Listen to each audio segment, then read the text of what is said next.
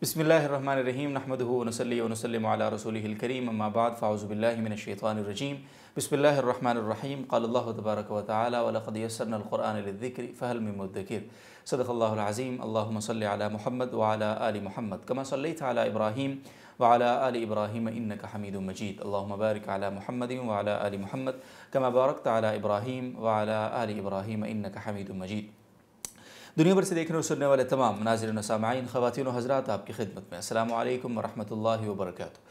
میں ہوں آپ کے میزبان محمد عبدالودود اور آپ دیکھ رہے ہیں J T R media house کے پلیٹ فارم سے۔ درس قرآن کا یہ پروگرام، یا ایوہ الناس۔ ناز مکرم، آج کی نشست کے جو معزز مکرم مہمان ہمارے ساتھ موجود ہیں، جناب حضرت مولانا مفتی عبد المنم فائز صاحب، دامت برکاتہم جامع الرشید کراچی کے استاذ مکرم اور جامع الرشید کے شعبہ تخصصات کے نہایتی اہم رکن استاذ ہونے کے ساتھ ساتھ جامع الرشید کراچی کے ہفت روزہ شریعہ اینڈ بزنس کے chief editor, J T R media house کے ایڈیٹوریل ڈپارٹمنٹ کے ہیڈ۔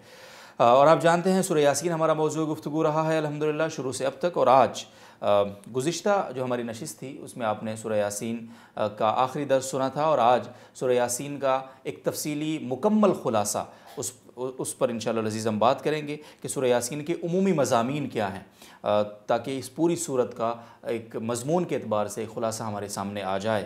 تو سب سے پہلے میں حضرت مفتی عبدالمن فائز صاحب کی خدمت پہ سلام عرض کرتا ہوں۔ السلام علیکم ورحمۃ اللہ۔ وعلیکم السلام ورحمۃ اللہ۔ تو بہت شکریہ۔ سورہ یاسین کا درس مکمل ہو گیا۔ درس کا جو دروس کا سلسلہ تھا الحمدللہ۔ آج خلاصے کی بات ہے۔ تو مکمل سورہ یاسین کا خلاصہ اور آپ کو نقش وقش لے کر بھی بیٹھے ہیں مجھے نظر آ رہے ہیں۔ تو امید ہے کہ انشاءاللہ بہت اچھے انداز میں یہ خلاصہ ہوگا بہت کچھ سیکھنے سمجھنے کو ملے گا۔ سورہ یاسین کے اس خلاصے سے۔ سب سے پہلے سورہ یاسین کی اہمیت پر ایک دفعہ ہم نے شروع میں بات کی تھی۔ آج بات اس لیے ضروری ہے کہ ہم پوری صورت پر بات کر رہے ہیں۔ تو سورہ یاسین کی اہمیت پر تھوڑی سی بات ہو جائے۔ ہاں بسم اللہ الرحمن الرحیم۔ ہم پہلے ذکر کر چکے ہیں سورہ یاسین قرآن مجید کا دل ہے۔ اس معنی میں کہ قرآن مجید کے اندر جتنے بھی موضوعات ہیں جتنے بھی پیغام اللہ تعالیٰ نے دیا ہے اس پیغام کو سورہ یاسین سمرائز کرتی ہے۔ ان سب کا خلاصہ سورہ یاسین میں آ گیا ہے۔ دوسرے نمبر پر سورہ یاسین اس اعتبار سے بھی قرآن مجید کا دل ہے کہ دل جو ہے وہ ایک طرف ہوتا ہے جس طرح بالکل ایسے ہی یہ قرآن مجید کے بائیسویں تیئیسویں پارے کے پاس ہے۔ تو یہاں پر یہ بھی بالکل وہی لوکیشن میں بنتی ہے جیسے دل کے انسان کے جسم میں بنتی ہے۔ پھر اس اعتبار سے بھی کہ سورہ یاسین جو ہے اس کی اہمیت بھی ہے۔ سورہ سورہ یاسین کے بارے میں بزرگوں نے یہ فرمایا کہ جس کسی مشکل کے وقت میں سورہ یاسین کو پڑھا جائے تو سورہ یاسین اس مشکل کو آسان کرنے میں اللہ تعالیٰ کی طرف سے مدد کا باعث بنتی ہے سبب بنتی ہے۔ اور اس اعتبار سے بھی سورہ یاسین جو ہے وہ اہمیت کی حامل ہے کہ حضور صلی اللہ علیہ وسلم نے فرمایا کہ اپنے جو مرنے قریب المرگ لوگ ہیں ان پر سورہ یاسین کو پڑھو اللہ تعالیٰ ان پر آخرت کی جو منزلیں ہیں وہ آسان فرما دیں گے۔ تو ان تمام چیزوں کی وجہ سے سورہ یاسین کی اہمیت ہے۔ سورہ یاسین کو روزانہ کے معمول میں رکھنا چاہیے۔ سورہ یاسین عذاب قبر کو ہٹاتی ہے اور اس کے علاوہ زندگی کے کو مشکل مراحل میں بھی آسانی کا سبب بنتی ہے سبحان اللہ۔ بہت بہت شکریہ۔ سورہ یاسین پورے قرآن کا خلاصہ ہے اور آج ہم سورہ یاسین کا خلاصہ انشاءاللہ جان رہے ہیں۔ تو سورہ یاسین کے مضامین کے اعتبار سے ہم ایک مضمون کے اعتبار سے اگر بات کریں تو سورہ یاسین میں کون کون سے مضامین پر بات دیکھیں سورہ یاسین کے اندر بنیادی طور پر جو ہم آج ڈسکس بھی کریں گے انشاءاللہ کہ اگر ہم اس کو سمرائز کریں تقریباً گیارہ موضوعات بنتے ہیں جو سورہ یاسین کے اندر تفصیل کے ساتھ آئے ہیں۔ اور ان کی ایک فطری ترتیب بنتی ہے۔ سورہ یاسین میں اللہ تعالیٰ نے ایک بنیادی مقدمہ پیش یہ کیا ہے کہ جو انسان ہے وہ اللہ تعالیٰ کی تخلیق ہے اور اللہ تعالیٰ نے انسان کے لیے جو دنیا یہ سجائی ہے یہ کائنات جو سجائی ہے اور اس کے اندر جتنے قدرت کی نشانیاں اللہ نے رکھی ہیں یہ ساری کی ساری نشانیاں انسان کو یہ بتانے کے لیے ہے کہ انسان بے فائدہ نہیں بنا ہوا۔ تو اللہ تعالیٰ اپنی نشانیاں دکھاتا ہے اور اس کے ساتھ ساتھ پھر اللہ تعالیٰ یہ بتاتا ہے کہ میری جو قدرت ہے وہ صرف یہ نہیں ہے کہ میں نے یہ چیزیں پیدا کی ہیں۔ میں نے تم سے پہلے بھی انسان پیدا کیے، ان کے لیے عذاب اور ثواب، یہ سب کچھ تم اپنی آنکھوں سے دیکھ رہے ہو۔ آپ سے پہلے بہت سی قومیں آئی تھیں جن پر اللہ کا عذاب نازل ہوا۔ ان کا عذاب تمہارے لیے رحم، ایک جو ہے سبق ہے، ایک تمہیں نشان منزل بتاتا ہے کہ ان قوموں کے نقش قدم پر نہیں چلنا ہے۔ اور پھر اللہ تعالیٰ اپنی قدرت کی ساری نشانیوں کو دکھانے کے بعد یہ پیغام دیتا ہے انسان کو کہ یہ جو قدرت کی نشانیاں ہیں ان میں اللہ کا کوئی شریک نہیں ہے کوئی مددگار نہیں ہے صرف اللہ وحدہ لا شریک وہ ذات ہے جو یہ سب کارخانہ قدرت چلا رہی ہے اور یہ سارا نظام اللہ ہی چلا رہے ہیں۔ تو اب عبادت کے لائق بھی وہی ذات ہے۔ عبادت بھی اسی کی کرنی ہے اسی کو منانا ہے اور کسی بھی قسم کی جو ضرورت ہے حاجت ہے اس کے لیے جو جس ذات سے رجوع آپ نے کرنا ہے وہ اللہ تعالیٰ ہی ہے۔ اور یہیں سے یہ میسیج بھی ہے کہ اللہ تعالیٰ نے اپنے نبیوں کو اسی کام کے لیے بھیجا کہ وہ دنیا کے اندر لوگوں کو جا کر یہ بتائیں کہ اللہ ہی ہے جو عبادت کے لائق ہے۔ اللہ کے علاوہ جن چیزوں سے ہم مدد کی توقع رکھتے ہیں، وہ سب جھوٹ ہے، تماشا ہے، دنیا کا کھیل ہے اور ایک دن حقیقت ہمارے سامنے کھل کر آئے گی۔ جب یہ پتہ چلے گا کہ جن کو ہم شریک سمجھتے رہے یا جن سے ہم امید وابستہ رکھتے رہے وہ سب کے سب معذور ہیں وہ مجبور ہیں وہ کچھ بھی نہیں کر سکتے ہیں۔ اللہ کے دربار میں ان کی کوئی حیثیت نہیں۔ اور دوسرے نمبر پر اللہ تعالیٰ نے یہ بتایا کہ ہم نے جو اپنے نبی ہیں ان کے ساتھ قرآن بھی بھیجا ہے۔ یہی میسیج دینے کے لیے کہ اللہ تعالیٰ کو مانو۔ اللہ تعالیٰ نے جو دنیا کے اندر اپنی قدرت کی نشانیاں پیش کی ہیں ان کو دیکھ کر اللہ کی طرف تم لوٹ آؤ اور یہ تسلیم کر لو کہ آخرت کی ایک زندگی ہے۔ جس زندگی کے اندر میں تم سے بلا کر پوچھوں گا کہ دنیا میں جس مقصد کے لیے تمہیں بھیجا تھا، تم نے اس پہ عمل کیا۔ اور جو کام تمہارے ذمے لگائے تھے کہ اللہ کو مجھے راضی کر کے آ جاؤ، حضور صلی اللہ علیہ وسلم کے احکام پر عمل کر لو۔ اور جو دین تمہیں دیا گیا، اس پر عمل کر کے آؤ۔ تو اس دن تم سے وہ پوچھا جائے گا، اس دن کی تم تیاری کر کے آ جاؤ۔ تو یہ ساری چیزیں گویا یہ جو سارے مضامین آخرت ہیں یہ آپس میں باہم مربوط ہیں۔ ایک عقیدہ دوسرے کو انڈورس کرتا ہے تقویت پہنچاتا ہے۔ تو اللہ تعالیٰ نے ان سارے عقائد کو اس سورہ یاسین کے اندر تفصیل کے ساتھ ذکر کر دیا ہے اور آج ہم انہی کو انشاءاللہ دوبارہ سے ڈسکس کریں گے۔ انشاءاللہ عزیز بہت بہت شکریہ۔ اچھا ہم تھوڑی ترتیب اس طرح سے رکھیں گے تاکہ آپ پر بھی پورا بوجھ تو خیر میں اس کو نہیں کہوں گا۔ لیکن ایک تاکہ آپ کو بھی تھوڑا وقفہ ملے سپیس ملے بیچ میں۔ جی، ہم جی۔ رکوع وائز اس کو کریں گے۔ پہلے ایک رکوع کا ہم خلاصہ جانیں گے پھر اگلے رکوع کا پھر کچھ جی، آیات کا تاکہ مضمون ٹو مضمون ہم چلیں۔ کوشش کریں گے۔ یاسین والقرآن الحکیم اعوذ باللہ من الشیطان الرجیم۔ یاسین والقرآن الحکیم آغاز سے پہلا جو رکوع ہے وہ کل شعین احسینہ فی امام مبین تک یہاں تک ان آیات کا خلاصہ اگر ہم لیں تو کیا ہے؟ جی بسم اللہ الرحمن اب یہ جو قرآن مجید نے پہلی یہ پہلا رکوع ہے جی۔ سورہ یاسین کا جو پہلا رکوع ہے اس کے اندر بنیادی طور پر تین جو مقدمے ہیں تین موضوع ہیں جی۔ وہ قرآن مجید نے پیش کیے ہیں۔ سب سے پہلے نمبر پر تو یہ بتایا گیا ہے کہ یہ جو حضور صلی اللہ علیہ وسلم کی رسالت ہے اس میں کوئی شک اور شبہ نہیں ہونا چاہیے۔ جی۔ اور اللہ تعالیٰ نے قسمیں کھا کر کہا ہے کہ یاسین والقرآن الحکیم۔ قرآن کی قسم ہے اللہ تعالیٰ فرماتے ہیں بے شک آپ کی جو رسالت ہے وہ کسی بھی شک اور شبہ سے بالا تر ہے۔ تو حضور صلی اللہ علیہ وسلم کی جب رسالت شک اور شبہ سے بالا تر ہے، تو حضور کا پیغام بھی شک اور شبہ سے بالا تر ہے۔ تو آپ سیدھے رستے کی طرف بلاتے ہیں، اللہ تعالیٰ فرماتے ہیں کہ جو حکم آپ پر نازل کیا گیا ہے قرآن کی شکل میں، وہ بالکل درست ہے۔ ان تمام چیزوں کو تم مانو گے تو پھر اس کے بعد تمہیں ہدایت ملے گی۔ تو اس کے بعد جو دوسرا موضوع ہے جی۔ اس رکوع کے اندر وہ ہے مشرقین کو ڈرانا جو اللہ تعالیٰ کی نافرمانی کرنے والے ہیں ان کو ڈرانا۔ تو وہ چوتھی آیت سے چھٹی آیت سے وہ اللہ تعالیٰ نے وہ موضوع شروع کیا ہے کہ اس قرآن کو اور یہ نبی جو حضور صلی اللہ علیہ وسلم دنیا میں تشریف لائیں ان کا ایک مقصد ہے۔ اور وہ مقصد یہ ہے کہ آپ ان لوگوں کو ڈرائیں جو اپنی دنیا کے اندر مست ہوئے ہوئے ہیں جن کو جن کا کے پیش نظر صرف اور صرف دنیا بنانا ہے۔ جی۔ ان کو پیغام دیں کہ تم صرف اس دنیا کے لیے نہیں آئے ہو۔ ایک دن آئے گا جس دن تم سے ان کا حساب لیا جائے گا۔ اور جو لوگ یہ پیغام نہیں سمجھتے ہیں وہ دراصل حق کی طرف سے ان کی آنکھوں پر پٹیاں بند گئی ہیں۔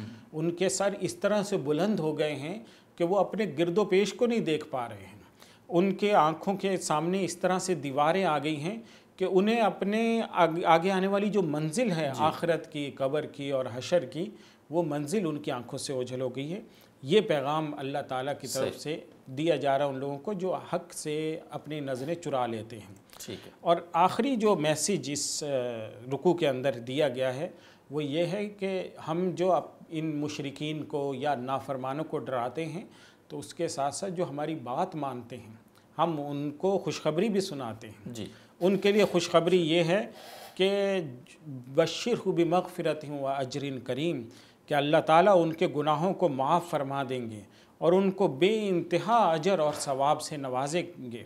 اور اللہ تعالیٰ فرماتے ہیں کہ یہ کس دن ہوگا؟ انا نحن نحی الموتا ونکتب ما قدموا و کہ ہم ہی ہیں جو مردوں کو زندہ کریں گے اور آج یہ نیکی کے لیے جتنے قدم چل کر جاتے ہیں مسجد کے لیے ان کے جتنے قدم چلتے ہیں یہ کسی بھی نیک کام کے لیے یہ کوئی بھی اپنی ایکٹیویٹی کرتے ہیں تو اس کا ایک ایک قدم تک ہم محفوظ کر رہے ہیں۔ تو اس کے علاوہ میں اگر کوئی پیسہ خرچ کرتا ہے وہ تو جی۔ خود بخود محفوظ ہو رہا ہے۔ جو اس کے علاوہ اپنی قوتیں صرف کرتا ہے اللہ کے لیے اللہ کے دین کے لیے وہ بھی محفوظ ہو رہا ہے۔ تو اللہ تعالیٰ فرماتے ہیں ہم چھوٹی سے چھوٹی نیکی بھی نام اعمال میں لکھ رہے ہیں اور جو ہماری اطاعت کرنے والے ہیں ہمارا پیغام ماننے والے ہیں ہم قیامت کے دن ان کے نامہ اعمال میں ان کی یہ ساری نیکیاں لکھ دیں گے اور ظاہر کر دیں گے۔ بے شک جزاکم اللہ۔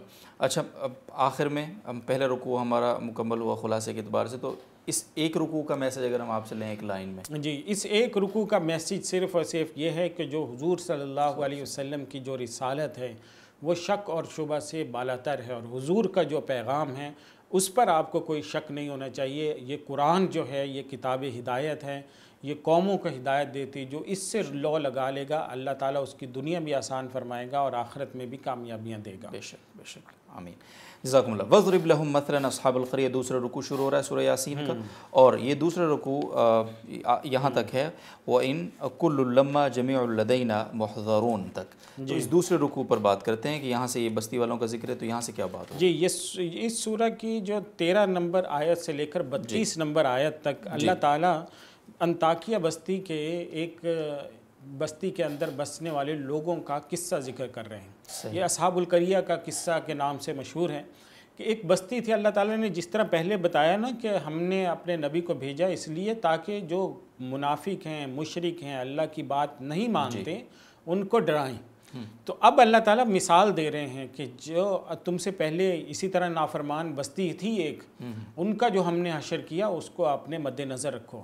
حضرت عیسیٰ علیہ السلام کے جو ہواری تھے انہوں نے حضرت عیسیٰ علیہ السلام نے انتاکیہ جو ترکی کے قریب ہے جی۔ اس بستی کے اندر ایک اپنے پہلے ایک ہواری کو بھیجا پھر دوسرے کو بھیجا دو چلے گئے تو اس کے بعد تیسرے کو بھی بھیجا تین آدمی وہاں پر اللہ تعالیٰ کی طرف جو پیغمبر تھے جی۔ یا جو حضرت عیسیٰ علیہ السلام کے ہواری تھے وہ وہاں پر گئے اور انہوں نے بستی والوں کو دعوت دی بستی والوں کو جب انہوں نے دعوت دی تو بستی والوں نے اسی طرح سے کج بحثی کی جس طرح آج کرتے ہیں لوگ جی۔ کہ بھئی آپ کہاں سے آ گئے اللہ نے بھیجنا ہوتا ہے تو کوئی فرشتے کو بھیج دیتے جی۔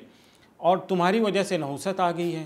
ہمارے تو جب سے تم آئے ہو تو بستی کے اندر فراوانیاں ختم ہو گئی ہیں۔ جب سے تم آئے ہو ہم پہ جو ایسے لگتا ہے جیسے کوئی نحوست کا سایہ پڑ گیا ہے۔ تو اللہ تعالیٰ نے ان جواب دیا کہ نہیں یہ تو ان لوگوں نے کہا کہ یہ جو تم پر نحوست ہے یہ تمہارے اعمال اعمال کی وجہ سے جی۔ یہ ہماری وجہ سے نحوست نہیں ہے۔ تو جب بستی والے ان کے پاس آئے تو بس کوئی مسلمان نہیں ہوا بستی سے۔ ایک گاؤں کے کنارے پر ایک آدمی رہتا تھا حبیب نجار ان کا نام تھا۔ وہ وہاں سے چل کے کر آئے اور انہوں نے وہاں سے آ کر کہا یا جی۔ قوم طبی المرسلین یہ جو رسول آپ کے پاس آئے ہیں یہ سچے ہیں۔ اور میں ان کی ان کی بات کے ساتھ لبیک کہتا ہوں، ان کی بات کو مانتا ہوں۔ اتبعوا من لا یسألکم اجرا وهم محتدون یہ جو ہدایت پر ہیں اور کوئی تم سے پیسہ نہیں مانگتے دعوت دینے کا، ان کی تم اتباع کرو، ان کا پیغام مان لو۔ اور پھر اس نے کہا کہ میں اس اللہ کی عبادت کرتا ہوں، جس اللہ نے مجھے پیدا کیا ہے۔ لیکن بستی والوں نے اس کو، اس کی اس پیغام پر بہت شدید رد عمل دیا اور ان کو شہید کر دیا حضرت حبیب نجار کو۔ جب حضرت حبیب نجار کو شہید کیا گیا تو اس وقت ان کی طرف سے غیب سے جو ان کی طرف سے پیغام اللہ تعالیٰ نقل فرما رہے جی۔ ہیں کہ انہوں نے کہا کہ اللہ تعالیٰ کی طرف سے حکم ہوا ادخل الجنہ کہ تم جنت کے اندر داخل ہو گئے ہو جاؤ تو پھر حبیب نجار نے یہ کہا یا لئی تو قومی یا علمون کاش میری قوم کو یہ پتہ چل جائے کہ جو اللہ کے پیغام پر لبیک کہتا ہے وہ مر کر بھی زندہ رہتا ہے۔ وہ دنیا کے اندر شکست کھا کر بھی سرخرو ہو جاتا ہے۔ وہ دنیا کے اندر ظاہری طور پہ ناکام ہوتا ہے۔ حقیقت میں وہ ہمیشہ ہمیشہ کی کامیابیاں اپنے نام پر لکھ کر چلا جاتا ہے۔ تو اس کے بعد اللہ تعالیٰ فرماتے ہیں کہ جب یہ یہ آخری حد تھی جی۔ کہ ہمارے جو ماننے والے تھے ان کو شہید کر دے گیا تو اللہ تعالیٰ فرماتے ہیں کہ ما انزلنا علی قومہ من بعدہ من جند من السماء وما کننا منزلین۔ اس کے بعد ہم نے کوئی وہاں پر کوئی بہت بڑے بڑے فرشتوں کو بھیج کر کوئی تباہی نہیں کی؟ جی۔ ان کانت اللہ صیحت واحدہ فضا ہم خامدون۔ اللہ تعالیٰ اپنی قدرت بتاتے ہیں کہ ہماری قدرت صرف اتنی اس کے اندازہ اس سے لگاؤ کہ ایک چنگھاڑ کی آواز تھی جو وہاں پر آ کر ایک فرشتے نے لگائی۔ فرشتوں نے تباہ نہیں کیا کوئی گرد لے کر آئے ہوں مار رہے ہوں یا اس بستی کے اوپر پہاڑ گرائے جا رہے ہوں تودے گر رہے ہوں ایسا نہیں ہوا۔ صرف ایک فرشتے نے آ کر اس کے جو شہر کے مین دروازے تھے وہاں پر چنگھاڑ لگائی۔ اور اس چنگھاڑ کی آواز سے پورے جو اصحاب القریہ تھے پوری کی پوری بستی کے دل پھٹ گئے اور وہ وہیں پر ڈھیر ہو گئے اور اپنے انجام تک پہنچ گئے۔ تو یہ گویا اللہ تعالیٰ کی طرف سے ایک میسیج دیا گیا ہے کہ تم میں اپنے بندوں کو اللہ تعالیٰ فرماتے ہیں یا حسرتاً الباد جی۔ کتنے افسوس کی بات ہے بندوں پر کہ ان کے پاس جو بھی اللہ کا پیغام لے کر آتا ہے تو وہ اس کا مذاق اڑانے لگ جاتے ہیں۔ تو اتنی بستیوں کے انجام دیکھ کر تو کم از کم لوگ یہ کوئی ایک قوم ہی ایسی ہو جو اللہ کے پیغام پر مذاق نہ اڑائے اللہ کے پیغام کو دل و جان سے قبول کر لے۔ کوئی ایک بھی نہیں ایسی ہوتی۔ ٹھیک۔ تو اللہ تعالیٰ کی طرف سے یہی میسیج ہے ان آیات کے اندر بھی کہ اللہ کی طرف سے جب کوئی میسیج ہے اللہ تعالیٰ کے جو احکام ہیں جو ہمارے لیے اس وقت میں موجودہ زندگی کے اندر ہیں ہم ان کو مانیں اور ان پر لبیک کہیں۔ جی۔ انشاءاللہ عزیز اللہ تعالیٰ توفیق عطا فرمائے جزاکم اللہ۔ آیت نمبر تینتیس سے لے کر وہ آیت اللہم الارض المید یہاں سے تیسرا رکوع شروع ہو رہا ہے۔ تو اور یہاں سے لے کر آیت نمبر چوالیس تک۔ جی اللہ رحمت منا و متعن الہین یہاں تک مجھے لگتا ہے کہ یہ مضمون ایسا ہے کہ کچھ اس میں وہ سیم چیزیں ہیں تو اس پر تھوڑی سی روشنی ڈالیے۔ دیکھیں آیت یہ جو آیت نمبر تینتیس سے چوالیس تک ہے اس کے اندر اللہ تعالیٰ اپنی قدرت کو بیان فرمائے کہ اللہ تعالیٰ اب یہ فرماتے ہیں کہ یہ جو ہم نے بستی والوں کے ساتھ کیا ہے نا یہ ہماری قدرت ہے یہ ہماری طاقت ہے یہ اللہ تعالیٰ جو ہے اللہ تعالیٰ کی ذات یہ تمہیں اپنی دکھا رہی اپنی شان۔ جی۔ تو اللہ فرماتے ہیں کہ یہ تم تم کیوں نہیں اللہ کے اوپر ایمان لاتے اللہ کی قدرت پر ایمان لاتے؟ حالانکہ تم دن رات یہ دیکھتے ہو کہ زمین خشک اور بنجر ہوتی ہے اللہ تعالیٰ پانی سے اس کو زندہ کر دیتے ہیں۔ جی۔ اسی طرح تم دیکھتے ہو کہ ایک درخت تم لگاتے ہو اس کے اوپر اللہ تعالیٰ پھل پھول بوٹے لگا اگا دیتا ہے۔ پھر تم دیکھتے ہو کہ ہر چیز کے اندر اللہ تعالیٰ نے دو جوڑیاں بنائی ہیں۔ مذکر اور مونس کا ایک حساب رکھا ہے۔ صحیح پازیٹیو نیگیٹیو کا اللہ تعالیٰ نے پوری قدرت کے اندر پوری نظام قدرت میں ایک حساب رکھا ہوا ہے۔ یہاں تک کہ پودوں کے اندر اللہ تعالیٰ نے مذکر اور نر اور مادہ کا تصور رکھا ہے۔ جی۔ یہ ساری چیزیں تم دن رات دیکھتے ہو پھر بھی نہیں مانتے کہ اس کو بنانے والی کوئی ذات ہے۔ یہ خود اتفاق ہو گیا۔ یہ اتفاق نہیں ہے۔ یہ اللہ تعالیٰ تمہیں بار بار بتاتا ہے کہ یہ اتفاق نہیں ہے اور جس دن تمہاری آنکھیں کھلیں گی اس دن پھر تم یہ شکوہ نہ کرنا کہ میں نے تم سے تمہارے ساتھ کوئی ظلم یا زیادتی کی ہے۔ اسی طرح اللہ تعالیٰ فرماتے ہیں کہ یہ جو سورج ہے جس کو تم دیکھتے ہو یہ جو چاند ہے جس کو تم دیکھتے ہو اس سورج کے جو مدار ہیں جن کو تم دیکھ رہے ہوتے ہو اور سورج جو رات کو چلا جاتا ہے ڈھلتا ہے طلوع ہوتا ہے غروب ہوتا ہے یہ سب اللہ تعالیٰ کی نشانیاں ہیں۔ ان کو دیکھ کر تم نہیں عبرت پکڑتے۔ اور یہ جو کشتیاں جن کے اوپر تم سوار ہو جاتے ہو جی۔ بڑی بڑی کشتیاں ہیں بحری جہاز ہیں یہ بھی اللہ کی قدرت کی نشانی ہیں۔ یہ کس نے مسخر کر دیا اس لکڑی کو؟ ہر چیز پانی میں ڈوبتی ہے لکڑی جا کے نہیں ڈوبتی۔ یہ کون کرنے والا ہے؟ یہ اللہ کی ذات ہے جو یہ ساری چیزوں کا سسٹم بنا رہی ہے۔ جی۔ اور تو اس کے ساتھ ساتھ میں آگے اللہ تعالیٰ نے یہ ذکر کیا کہ ہم نے جو ہے اگر ہم چاہیں تو ان میں سے کسی بھی چیز کے یہ جو لکڑی ہے یہ ڈوب جائے۔ جی۔ یہ بحری جہاز یہ تمہیں تمہارے تیرنے کے بجائے تمہارے ڈوبنے کا سبب بن جائے۔ اور یہ جو سورج اور چاند ہے ان تمام کی قوتیں ہم چھین لیں۔ اور یہ سورج اور چاند بے نور ہو جائیں۔ تو ان تمام چیزوں کو ہماری قدرت کی نشانیوں کو دیکھ کر تم نہیں مانتے کہ اللہ ایک ہے۔ جی۔ اللہ ہی ہے جس کی عبادت کرنی چاہیے۔ اللہ ہی ہے جس کے ہر ہر حکم پر لبیک کہہ دینا چاہیے۔ جزاک اللہ بہت بہت شکریہ۔ ناظم محترم یہ خلاصہ میں آیات پڑھ پڑھ کے اس لیے آپ کی خدمت میں رکھا جا رہا ہے تاکہ آپ بھی سورہ یاسین اپنے سامنے قرآن مجید کھول کر اس کو سمجھیں۔ اور اس اہم ترین صورت کو جو کہ ہمارے روزمرہ معمول کا حصہ ہے، اس کے مضامین پر ہم ایک کم از کم ہمیں ایک بنیادی نظر ہماری ضرور ہونی چاہیے۔ آگے آگے چلیں گے جی آیت نمبر چوالیس تک ہو گئی یہ بات۔ آیت نمبر پینتالیس سے آگے، وَإِذَا قِيلَ لَهُمُ اتَّقُوا مَا بَيْنَ أَيْدِيكُمْ وَمَا خَلْفَكُمْ لَعَلَّكُمْ تُرْحَمُونَ سے لے کر وَيَقُولُونَ مَتَى هَذَا الْوَعْدُ إِن كُنتُمْ صَادِقِينَ۔ آیت نمبر اڑتالیس تک۔ مصب جی۔ ان پر یہ جو چند آیت نمبر پینتالیس سے اڑتالیس تک جی۔ ہے ان آیتوں کے اندر اللہ تعالیٰ کافروں کا موقف بیان فرما رہے ہیں۔ اچھا۔ کہ دیکھیں ایک طرف اللہ کی قدرت کی اتنی نشانیاں ہیں کہ کوئی اندھا بھی اس کی تردید نہیں کر سکتا۔ جی۔ اور دوسری طرف جو انکار کرنے والے ہیں ان کی دلیلیں اتنی کمزور فضول لچر ہیں کہ کوئی بھی عقل رکھنے والا اس پر یقین نہیں رکھ سکتا۔ لیکن پھر بھی سارے لوگ اسی بات کو مان رہے ہیں۔ سب پھر بھی سارے لوگ اللہ کے احکام پر عمل نہیں کر رہے۔ اب یہی دیکھو کہ جب ان ان کافروں کو جو اللہ کی نہیں مانتے یا اللہ کے احکام کو ٹھکراتے ہیں ان کو جب یہ کہا جاتا ہے کہ اللہ قیامت کا دین ہے اس کے لیے تیاری کرو۔ تو ان کے پاس کچھ سوائے اس کے کوئی جواب نہیں ہوتا ہم کیوں تیاری کریں؟ ہے نا؟ وہ انکار انکار کرتے ہیں اس کے علاوہ کوئی دلیل نہیں ہوتی۔ اور اسی طرح جب ان ان لوگوں کے کو ہم یہ کہتے ہیں کہ اللہ کے رستے میں خرچ کرو تو وہ یہ کہتے ہیں کہ اگر اللہ نے کھلانا ہوتا ہے تو اللہ خود کھلاتے ہاں ہم سے کیوں مانگنے آ گئے صحیح۔ ہے نا؟ یہ کتنی فضول سی بات ہے کہ اللہ تعالیٰ نے انسانوں کو واسطہ بنایا ہے اور انسان کی یہی تو آزمائش ہے کہ اللہ تعالیٰ نے قرآن میں کتنی جگہوں پر یہ فرمایا کہ یہ جو مال ہے دولت ہے یہ جو دنیا کی چیزیں ہیں یہ ساری تو میری پیدا کی ہیں۔ تمہیں میں نے چند دن کے لیے دی ہیں تمہارے بعد تمہاری نسلیں اس سے پہلے پتہ نہیں کتنے کروڑوں اربوں لوگ ان کے مالک رہے تھے۔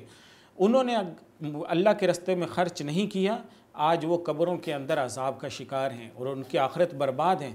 تو کم از کم ان کو دیکھ کر تم عبرت پکڑو اور یہ سمجھو کہ یہ جو کچھ میرے ہاتھ میں جو مال جو دولت جو وسائل جو کچھ بھی میرے ہاتھ میں یہ اللہ نے چند دن کے لیے مجھے دیا ہے۔ اگلے سیکنڈ میں میری آنکھ بند ہوگی اور اس کے بعد اس کی ملکیت تبدیل ہو جائے گی۔ تو کم از کم میں میں اپنی ملکیت کے اندر جو مال دولت جو وسائل مجھے موجود ہیں جو صلاحیتیں ہیں میں ان کو اللہ کی رضامندی کے لیے استعمال کر جاؤں۔ تو یہ اتنی واضح سی اور ایک عام کامن سینس کی بات بھی تم کو سمجھ نہیں آتی۔ تو کافروں کی اتنی فضول دلیلیں ہیں جو اللہ تعالیٰ فرماتی نے ان چار پانچ جی۔ آیتوں میں ذکر کی کہ اتنی فضول دلیلوں کی وجہ سے لوگ گمراہ ہو رہے ہیں۔ کتنی بے وقوفی کی بات ہے کہ اتنی فضول اور لچر باتوں کی وجہ سے لوگ اپنی آخرت تباہ کر رہے ہیں۔ ٹھیک۔ جزاک اللہ جی۔ آگے چلیں گے۔ سورہ یاسین آیت نمبر انچاس سے ما ينظرون الا صيحة واحدة تأخذهم وهم يخصمون۔ یہاں سے آیت نمبر چون تک فَالْيَوْمَ لَا تُظْلَمُ نَفْسٌ شَيْءٌ وَلَا تُجْزَوْنَ إِلَّا مَا كُنْتُمْ تَعْمَلُونَ تک۔ مصب ارشاد۔ ہم ان آیتوں کے اندر اللہ تعالیٰ قیامت کا اب ذکر فرما رہے ہیں۔ اللہ تعالیٰ کہہ رہے ہیں کہ یہ کافروں کا چونکہ احوال ذکر ہو رہا ہے کہ کافروں کے لیے ایک نشانی اللہ نے ذکر کی جو اللہ کی بات نہیں ماننے والے یا اللہ کے حکموں پر لبیک نہیں کر کہنے والے ان کو اللہ تعالیٰ نے ایک نشانی دی کہ ہم نے بستی والوں کو تم سے پہلے تباہ کیا۔ پھر اللہ نے نشانیاں بتائیں کہ ہم نے دیکھو قدرت کی نشانیاں دیکھو ان کو دیکھ کر عبرت پکڑو یہ اللہ نے بنائی ہیں۔ اور اللہ تم سے حساب لے گا ان ساری نعمتوں کا۔ پھر اللہ تعالیٰ نے آگے یہ کہا ہے کہ یہ جو جن جن دلیلوں کو تم دلیل سمجھتے ہو یہ کوئی دلیل نہیں یہ فضول کی باتیں ہیں یہ فضول کے بہانے ہیں اور ان ان کی وجہ سے کوئی بھی جی۔ چیز تم تم سے ہٹے گی نہیں اللہ تعالیٰ کے عذاب کو کوئی چیز ہٹا نہیں سکے گی۔ اب اللہ تعالیٰ فرماتے ہیں کہ پھر ہمارا جو عذاب ہے وہ کیسا ہوگا؟ قیامت کا دن کیسا ہوگا؟ تو اللہ تعالیٰ نے ان آیات کے اندر یہ ذکر کیا ہے کہ سب دو طرح کے سور ہوں گے۔ سب سے پہلے نمبر پر ایک چیخ کی آواز آئے گی اور اس کے ساتھ ہی تمام کی تمام انسانیت ملیا میٹ ہو جائے گی۔ کوئی انسان زندہ نہیں بچے گا۔ حضرت تمام فرشتے ختم ہو جائیں گے۔ صرف اللہ تعالیٰ کی ذات بچے گی اور اللہ تعالیٰ اس لمحے پر فرمائیں گے این الجبارون کہاں ہیں وہ لوگ جو سمجھتے تھے ہم سے زیادہ طاقتور کوئی نہیں ہے؟ این المتکبرون وہ لوگ کہاں ہیں جو سمجھتے تھے کہ ہم ہم سے ہم جیسا کوئی ہے تو آئے سامنے۔ تو اللہ تعالیٰ فرمائیں گے لمن الملک اليوم کوئی ہے جس کے جو آج دعویٰ کرے کہ میں بادشاہ ہوں۔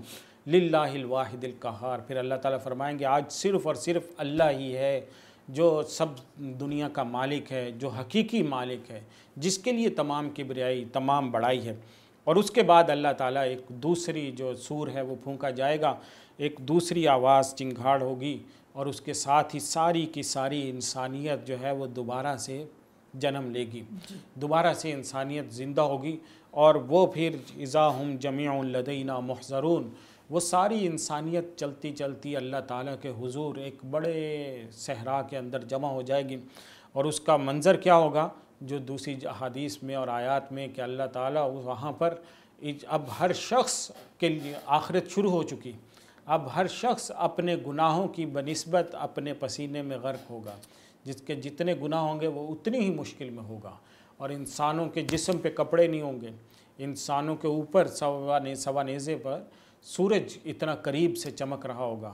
ایک سخت ترین ایک وہ موسم ہوگا جس کے اندر تمام انسانیت کھڑی ہوگی اور پھر اللہ تعالیٰ سے درخواست کریں گے کہ اللہ حساب لیجیے۔ زندگی یہاں رہنا ناممکن ہوا جا رہا ہے۔ پھر تمام حضرت آدم کے پاس آئیں گے لوگ، حضرت ابراہیم علیہ السلام کے پاس آئیں گے، حضرت عیسیٰ کے پاس آئیں گے اور ان سے درخواست کریں گے کہ آپ خلیل اللہ ہیں، آپ اللہ سے سفارش کیجیے کہ آج حساب شروع کریں۔ صحیح ہے، آپ موسیٰ کلیم اللہ ہیں، آپ اللہ سے درخواست کیجیے کہ حساب شروع کریں۔ پھر حضرت عیسیٰ روح اللہ ہیں، آپ اللہ سے درخواست کیجیے کہ اللہ تعالیٰ ہمارا حساب شروع کریں۔ اور اس وقت میں یہ تمام انبیاء فرمائیں گے کہ اليوم نفسی نفسی، آج کے دن صرف میری ذات کو اللہ تعالیٰ معاف کر دے، تو یہی میری سرخ روئی۔ تو پھر سارے کے سارے انسان جمع ہو کے حضور صلی اللہ علیہ وسلم کی خدمت میں حاضر ہوں گے۔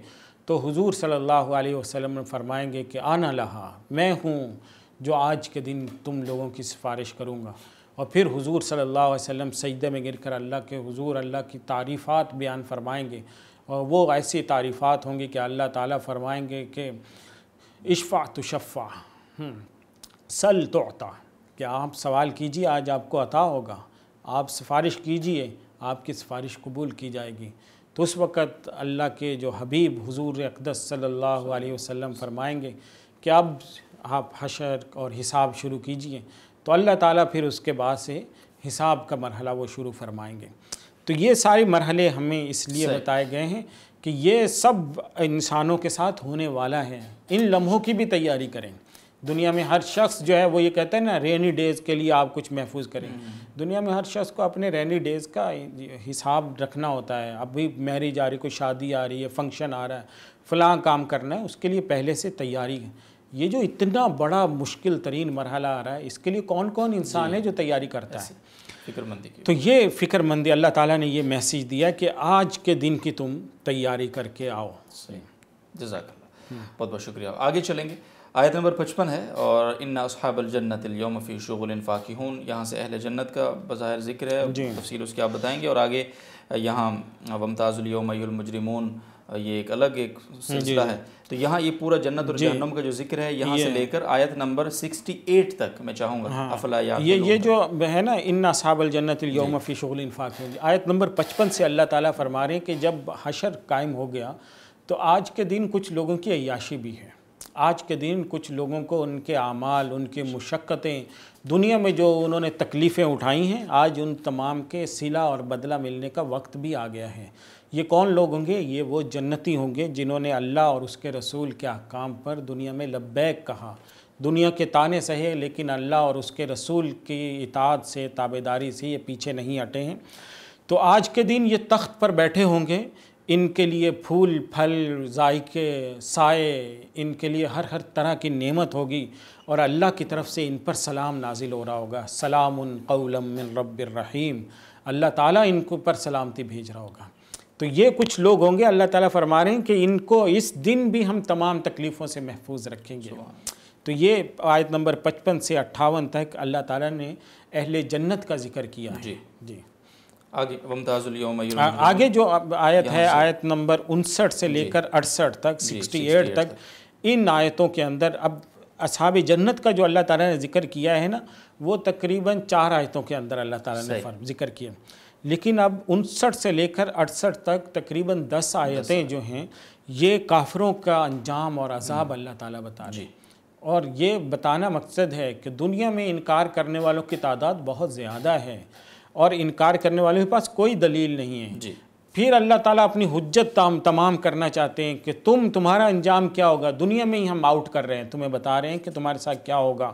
ان کے اندر اللہ تعالیٰ فرماتے ہیں کہ آخرت کے اس لمحے پر ہم کہیں گے کہ آج کے دن مجرم علیحدہ ہو جائیں۔ دنیا میں تو مجرم زیادہ شان و شوکت سے رہتے تھے جی۔ شاید۔ دنیا میں تو ان کو ان کو کوئی دوسروں سے جدا نہیں کر سکتا تھا۔ آج کے دن کافر اور ایمان والا اکٹھے نہیں رہ سکتے۔ آج کے دن تہجد پڑھنے والا اور گناہ کرنے والا برابر نہیں رہ سکتے۔ آج کے دن نمازی اور بے نمازی برابر نہیں ہو سکتے۔ آج کے دن روزے دار اور بے روزہ یہ اللہ کے دربار میں برابر نہیں ہو سکتے۔ آج کے دن علیحدہ علیحدہ سیگریگیٹ ہو جاؤ۔ یہ حصہ جو ہے، یہ کافروں کے لیے ہے۔ یہ ان کے لیے ہے جو نماز چھوڑتے تھے۔ یہ ان کے لیے ہے جو اللہ کے احکام کا استحضاء کرتے تھے۔ آج کے دن مجرموں کو ہم علیحدہ کر دیں گے اور ان سے یہ کہیں گے کہ تم کیوں شیطان کی عبادت کرتے تھے؟ تو اور تمہیں بتایا نہیں گیا تھا دنیا کے اندر کہ میری عبادت کرو، مجھے راضی کر کے آؤ، میرے احکام پر عمل کرو۔ تو تم تم سے پہلے کتنی قوموں کے احوال ہمیں بتائے تھے کہ تم سے پہلی قوموں کو اس شیطان مردود نے گمراہ کر دیا، جہنم تک پہنچا دیا۔ تم ان کے انجام سے عبرت نہیں پکڑ سکتے تھے۔ یہ سب کچھ تم دیکھتے رہے، پھر بھی تم میری آواز پر تم نے لبیک نہیں کیا، کہا، تو آج کے دن یہ ہمیشہ کی جو جہنم ہے، یہ تمہارا ٹھکانہ ہے۔ اور یہ تم سمجھتے ہو کہ ہم جس دنیا میں چالاک ہیں لفاظی ہے بیان ہے شعر و شاعری آتی ہے ہم بول لیتے ہیں ہمارا دماغ ہے ہمارے اسکلز ہیں ہم کسی کو اپنے سامنے دم نہیں مارنے دیتے جی۔ قیامت کے دن تمہاری زبان پر مہر لگی ہوگی۔ تمہارے اعضاء بتائیں گے کہ انہوں نے کیا کیا گناہ کیے تھے۔ آج کے دن ایک ایک عضو یہ بتائے گا اللہ کے دربار میں شکایت لگائے گا کہ مجھ سے یہ یہ گناہ اس نے کروایا تھا۔ تو آج کے دن ہم سب کی آنکھوں کے اوپر مہر لگا دیں گے اور ہم یہ چاہیں تو دنیا میں بھی کر سکتے ہیں۔ اللہ جی۔ تعالیٰ آخر میسیج دے رہے ہیں کہ آخرت میں ہم کر سکتے ہیں نا تو دنیا میں بھی کر سکتے ہیں۔ لیکن ہم دنیا میں نہیں کر رہے ہیں۔ اس سے عبرت پکڑو اور اپنا جو قبلہ ہے وہ درست کرو اور اللہ کو اس مہلت سے فائدہ اٹھا کر اللہ کو راضی کر کے چلے جاؤ۔ جزاکم اللہ جی بہت شکریہ۔ آگے وما علمناہ الشعر وما ينبغیلا آیت نمبر سکسٹی نائن ہے اور بس وقت ہمارے پاس چکے نہیں ہے تو میں سوال اب زیادہ نہیں کروں گا تو میں چاہوں گا جی۔ کہ اس کو آپ یہاں سے لے کر آخر تک جی۔ چلیں تو آپ علیہ صلاحت السلام کے حوالے سے بات ہو رہی ہے جی آیت نمبر سکسٹی نائن اور سکسٹی سیون ان دو آیتوں کے اندر جی۔ اللہ تعالیٰ قرآن مجید کا تعارف فرما رہے ہیں کروا رہے ہیں کہ آیت نمبر سکسٹی نائن میں کیا ہے؟ وما علمنہ الشعر وما ينبغیلہ ان ہوا اللہ ذکر و قرآن المبین جی۔ کہ اللہ کے نبی کو ہم نے کوئی شاعری نہیں سکھائی ہے یہ تم سمجھتے ہو کہ یہ لفاظی ہے یہ شاعری ہے یہ ادبیت ہے۔ یہ کوئی تشبیہات تلمیحات استعاروں اور رموز اور تلمیحات سے بھری ہوئی کتاب نہیں۔ جی۔ یہ سب کی سب اللہ کی طرف سے ایک نصیحت ہے ایک پیغام ہے ایک آواز ہے اور ایک میسیج ہے یہ۔ تاکہ تم کو اللہ تعالیٰ ڈرائے اور یہ بتائے کہ تمہاری ایک منزل ہے جس کے لیے تم نے تیاری کرنی ہے۔ اس کے بعد جو آیت نمبر سیونٹی ون سے آیت نمبر سیونٹی تھری تک ہے ان تین آیتوں کے اندر اللہ تعالیٰ اپنی قدرت بتا رہے ہیں کہ ہم دیکھو ایک مرتبہ پھر اللہ تعالیٰ اپنی جی۔ قدرت بتاتے ہیں کہ یہ جو کافر ہیں ان کو اللہ بتا رہے ہیں کہ ہم تم پر حجت پوری کرنا چاہتے ہیں۔ یہ عذاب ایسے نہیں آ رہا ہے۔ قیامت کے دن تم کہو کہ ہمیں بلا وجہ ہی پکڑا گیا۔ نہیں بتایا نہیں۔ ہر اس عذاب کے بعد کیونکہ اللہ کی مخلوق ہے اور اللہ اپنی مخلوق سے جتنی محبت کرتا ہے دنیا ستر ماہوں سے زیادہ محبت کرنے والا ہے۔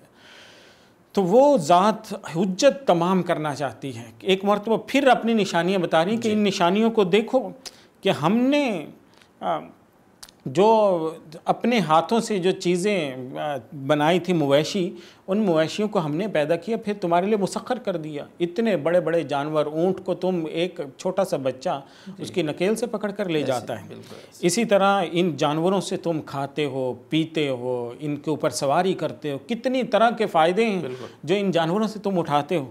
پھر بھی تم اللہ کا شکر نہیں ادا کرتے کہ جس خدا نے یہ تمہارے لیے یہ ساری چیزیں مسخر کی۔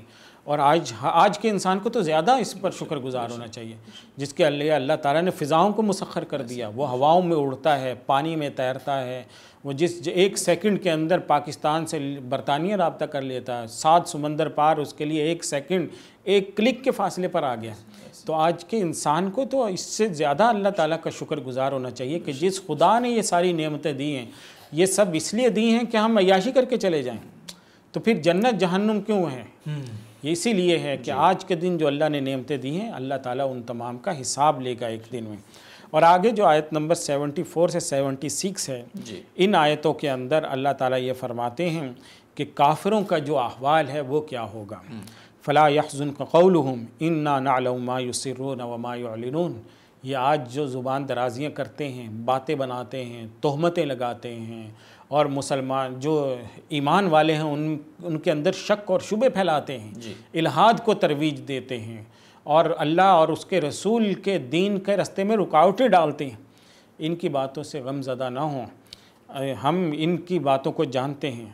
اور اللہ تعالیٰ فرماتے اولم یر الانسان انا خلقنا من نطفت یہاں سے اللہ تعالیٰ پھر یہ دس نشانیاں یہ بتا رہے ہیں۔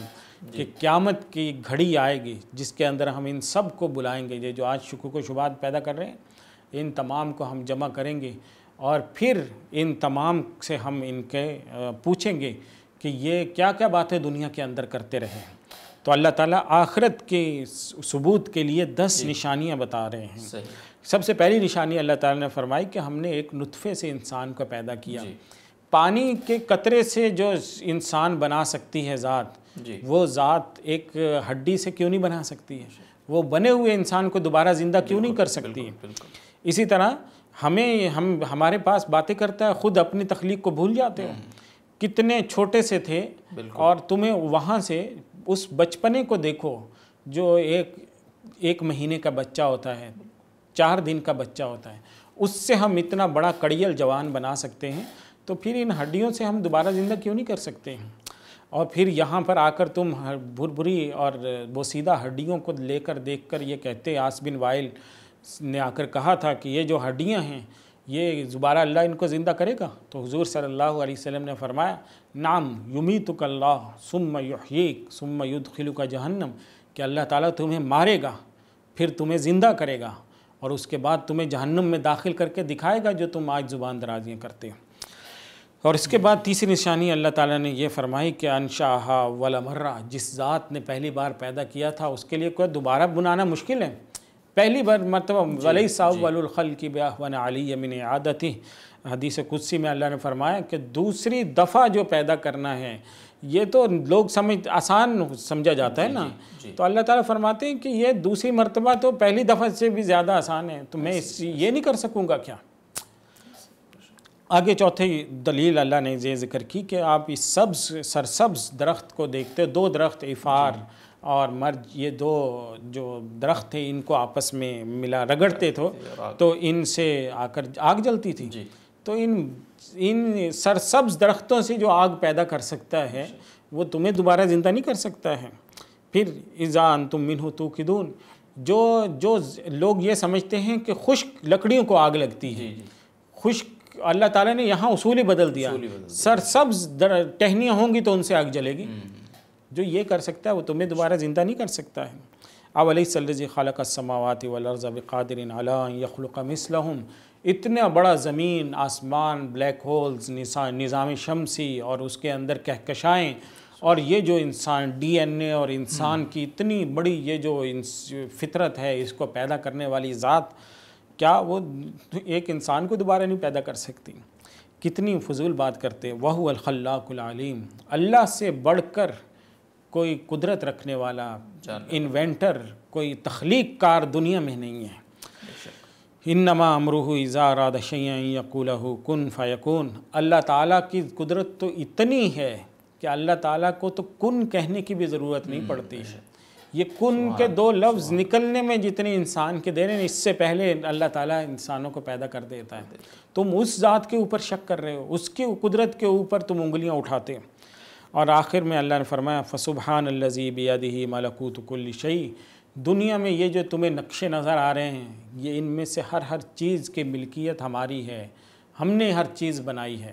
اور جو اتنی بڑی کائنات کا مالک ہے اس کے لیے انسان کو پیدا کرنا یہ کوئی مشکل ہے؟ ہم دوبارہ پیدا کر کے دکھائیں گے۔ وہ الہی ترجعون اور تم سب نے لوٹ کر ہمارے پاس ہی آنا ہے۔ ہمارے پاس ہی تمہارا حساب اور کتاب ہوگا۔ تو یہی جو ہے میسیج اس کے اندر تھا کہ یہ گیارہ عنوانات موضوعات جی۔ سورہ یاسین میں اللہ تعالیٰ نے بڑی تفصیل اور وضاحت کے ساتھ بیان کر دیے ہیں۔ جزاکم اللہ خیر بہت بہت شکریہ۔ حضرت عبدالمن فائز صاحب تو موجود ہیں ہمارے ساتھ ناظر محترم اور سورہ یاسین کا مکمل خلاصہ آپ نے سنا اور ہم کوشش کریں گے کہ کچھ یعنی نقشوں کی مدد سے بھی آپ کے ساتھ شیئر کریں۔ یہ وعدہ نہیں، کوشش کریں گے انشاءاللہ العزیز لیکن مجھے امید ہے کہ جس خوبصورت انداز میں اس خلاصے کو بیان کیا گیا ہے تو کسی اور چیز کی بہرحال ضرورت نہیں ہے۔ اگر ہم توجہ سے اس درس کو سنیں تو سورہ یاسین جیسی اہم صورت کا خلاصہ ہمارے سامنے بہت ہی اچھے انداز میں، بہت ہی آسان انداز میں واضح ہو جائے گا۔ وہ سب سورہ یاسین پر ایک طویل نشستوں کا سلسلہ رہا ہے۔ ایک آدھ منٹ کا کوئی میسج آخر میں اس صورت کے حوالے سے اور دیں اگر تو جی اس سورہ کے حوالے سے صرف وہ میسیج جو ابن قیم رحمہ اللہ نے یہ فرمایا کہ قرآن مجید کا جو موضوع ہے جو سورہ یاسین نے بڑی وضاحت کے ساتھ بیان کیا ہے جی۔ کہ اللہ تعالیٰ کی جو ذات ہے اس کو ہم پہچان لیں۔ کہ اللہ تعالیٰ کی جو ذات ہے وہ انسان کے تصور سے ماورہ ہے۔ اور اللہ تعالیٰ اپنے پورے قرآن میں اللہ تعالیٰ اپنی ذات کی تعریفات اس حوالے سے نہیں بیان کرتے میں میرے اندر یہ ہے میری شکل ایسی ہے میری صورت ایسی ہے۔ اللہ اپنے خاکہ کہیں نہیں بیان کرتا ہے۔ اللہ اپنی قدرت بیان کرتا ہے۔ تو اللہ کی قدرت پر جو ہمارا یقین ہے وہ کامل ہو جائے۔ اور ہم یہ سمجھنے لگ جائیں کہ دنیا میں جتنے بھی مشکلات ہیں جتنی بھی آسانیاں ہیں ان کو پیدا کرنے والا اور ان مشکلوں کو حل کرنے والا صرف اللہ ہے۔ اللہ کی ذات ہے۔ اگر یہ بات ہمیں زندگی کے اندر حاصل ہو جاتی ہے تو زندگی کی جتنی مشکلات ہر ہر انسان ہر دوسرا گھر کے اندر پریشانیاں جی۔ ہیں ہر دوسرا مرد عورت پریشان ہے گھروں میں ناچاکیاں ہیں دولت ہونے کے باوجود پریشان ہیں جہاں دولت نہیں ہے وہاں پہ بھی پریشانی اور یہ اتنی جو پریشانیوں کا ایک لاوا ہے پورے معاشرے کے اندر، وہ سب ختم ہو سکتا ہے۔ اگر ہم اللہ تعالیٰ کی قدرت پر یقین رکھیں، اللہ تعالیٰ کی جو توحید ہے، اس پر غیر متزلزل ہمارا ایمان قائم ہو جائے۔ اور سورہ یاسین کو ہم اسی تناظر کے اندر بار بار پڑھیں اور اس کے میسیج کو ہم دہرائیں کہ اللہ تعالیٰ جو ہے، اللہ تعالیٰ کی جو ذات ہے، قدرت ہے، جو اللہ کے مظاہر ہیں، جو اللہ نے نشانیاں دی ہیں، ان تمام پر ہمارا ایمان ہو جائے اور ہم اللہ تعالیٰ کو اس کی جو ذات ہے اس کو پہچاننے والے بن جائیں اور اللہ کی جو کبریائی ہے اس پر کما حق ہو یقین رکھنے والے بن جائیں یہی اس سورہ کا میسیج ہے۔ آمین آمین۔ جزاکم اللہ فائز صاحب ناظم محترم دعا کرتے ہیں۔ آخر میں اللہ رب العزت ہمیں اپنی ذات کی معرفت اور پہچان نصیب فرمائے۔ بنیادی بات ہے جس کو یہ حاصل ہو گئی اس کو سب کچھ حاصل ہو گیا۔ اجازت دیجیے اگلی نشست میں ایک نئے سلسلے کے ساتھ آپ سے ملاقات ہوتی ہے۔ ان شاء اللہ عزیز اللہ حافظ۔